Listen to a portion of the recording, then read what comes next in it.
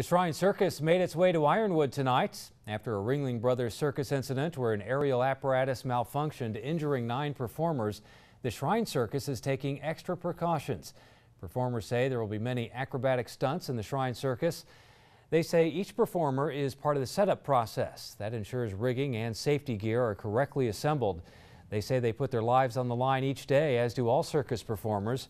One aerialist says no matter how many times you double check safety equipment, sometimes accidents unfortunately happen. Sometimes you can put safeties, more safeties, and for some reason, something that you never expect that it's going to break, just break.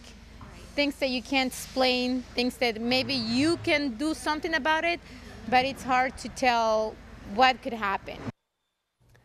The Shrine Circus is also making stops in Houghton, Escanaba, Marquette, Iron Mountain, and Sault Ste. Marie this week.